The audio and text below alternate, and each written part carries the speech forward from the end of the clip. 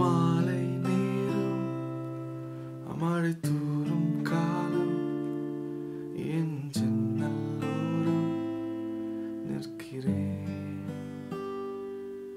Welcome to Tamil guitar sense very happy see once again guys Isaac தயிலியா thanks so much for all your support towards our new channel which I teach in Tamil, which is T H A M I Z H Tamil Guitar Lessons. Uh, so if you haven't subscribed yet, please do consider subscribing. I have posted this lesson one day before in Tamil Guitar Lessons, which I teach in Tamil. Uh, so if you understand Tamil, you can subscribe that and you can watch our lessons one day before. Alright, guys, the original scale of this song is B flat actually, but I have played uh, in C major scale. I changed the key to C uh, in our reference video, and by the way, reference video is in the description. Watch it a couple of times before learning this. Uh, so in C major, you can play most of the chords in open, whereas in B flat, you have to play a lot and a lot of chords in bar chords. So that is the reason to play in C major, and also you can sing well in C major. So let me tell you the chord tabs first. Strings are numbered in this way as you know 1, 2, 3, 4, 5 and 6. So C major is a 5 string chord because this is the root note. So X means mute or don't play. So 6 string X. This one is 3rd fret, 2nd fret, zero, first fret and then 0. So C major X 3, 2, 0, 1, 0 and then D minor X X because it's a four string chord so X X 0 2 3 1 and then A minor five string chord. So X 0 2 2 1 0 and then G major. Six string chord. So 3 2 0 0 3 3 another inversion. 3 2 0 0 0 3 the difference between this G and this G is uh, the third fret of the second string. In this G, we hold the third fret of the second string. But this G doesn't have the third fret of the second string. It becomes open. At some point, it's very easy to shift like this. So that's why we are uh, we're gonna use both the version and also we have to learn this G as well. If you want, you can use it. This one is 3, 5, 5, 4, 3, 3. And then we're to use G sharp diminished chord. If you want, you can play this. This one is, let's make it simple. Don't, you don't have to complicate it. This one is 4, 5 and 6. Just place, I mean, just play only these three strings. That's more than enough. So if you're gonna play this chord, you have to learn this chord because we're gonna travel like this. So if you don't want to play this chord, you can stick with the open chord. And then we got uh, F major, which is a full step down from G major. This is F major. So 1, 3, 3, 2, 1, 1. And then we got E minor, the sixth string chord. So 0, 2, 2, 0, 0, 0. And then we got F major 7. This is F. You can use F if you want, but if you want to add some more flavor, you can use F major 7. Actually, this is F major 7. And this one is, uh, technically speaking, is F major 7 over C. If you want to play the bass of F, you have to hold it with your thumb not a big deal you don't have to worry much so this tab is the way I hold is X or you have to play like this so 1 3 3 uh, 2 1 and then 0 alright so very beginning it goes like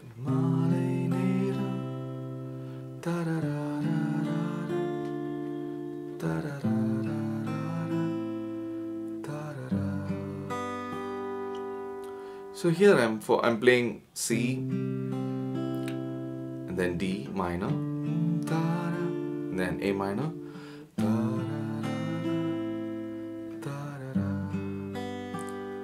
I'm just following a pattern called bass 3 2 1. if I play any chord, I just plug the bass note of the chord and then I'm gonna play three, two, one.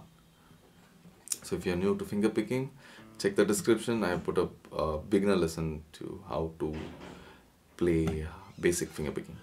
So C chord, as we know, this is a five string chord. We're gonna play the root note, which is the fifth string, C note, and then we're gonna play three, two, one string. So bass three, two, one. And when we go to D minor, we're gonna play fourth string because this is the bass note of D minor chord.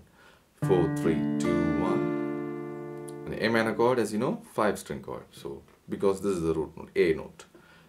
Bass three, two, one. G, six, three, two, one.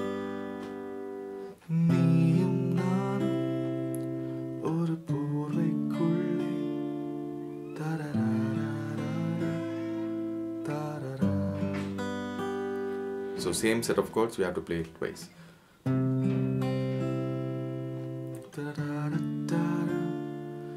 A minor.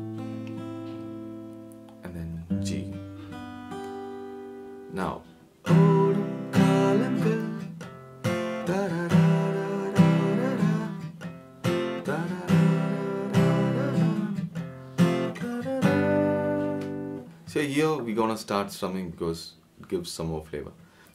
The strumming goes like down, down, down, up, down, down, down, up, down, down, down, up, down, down, down, up, down, down, down, up, down. So this is simple strumming pattern.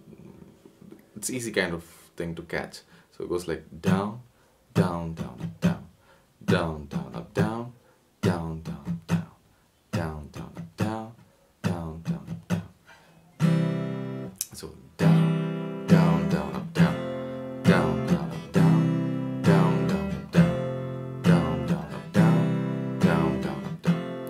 goes like.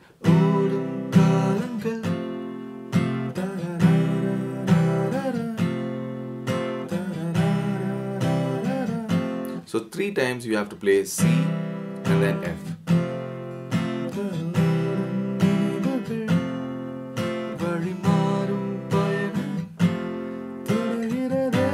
It goes to G now. So this is why we learned this version. You can shift easily or else if you don't want to play that, you can play open chord as well.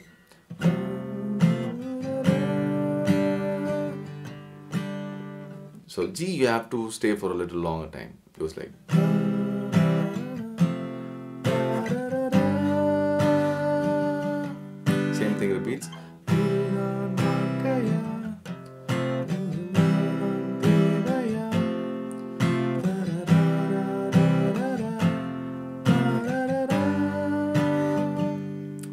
stays for a long time and here you can add a little sweetness by adding diminished chord while moving next passage.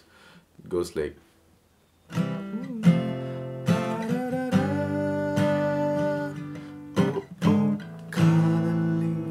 Did you see? So if you want to play this chord, you should definitely hold this bar chord. And if you new to bar chord, I strongly recommend you to check the description, learn the bar chords. It's very easy, guys. It's not kind of easy, but if you invest time, you can definitely play that. So, but if you don't want to play this diminished chord, you can directly go like.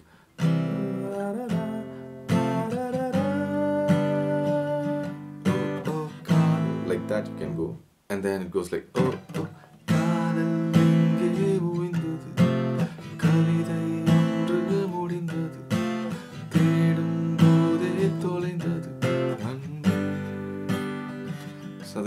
A minor, F, A minor, F,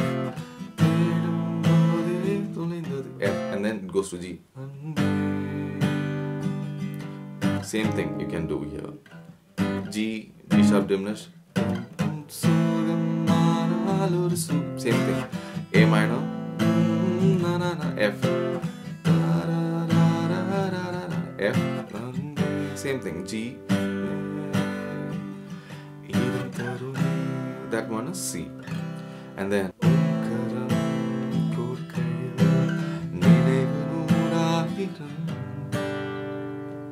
So this was A minor, C, here you can go F or F major 7 F major 7 add a little more sweetness so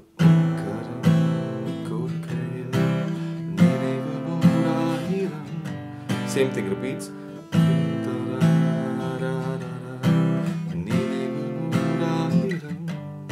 if you're gonna play this F you can go like this. Choice is yours.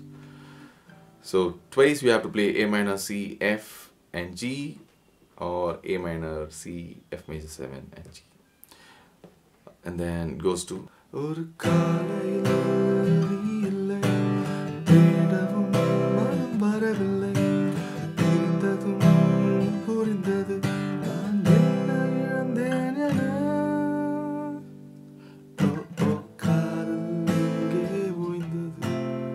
So here I used only two chords which are C, G, then C, G.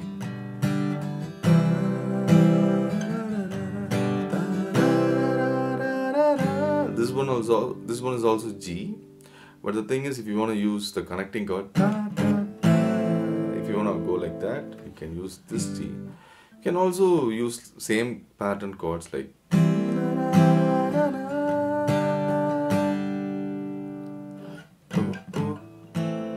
likewise also you can go. Alright guys we came to an end. If you enjoyed this video show your love through likes and comments. And uh, practice slowly so that you can learn very fast. Good luck guys cheers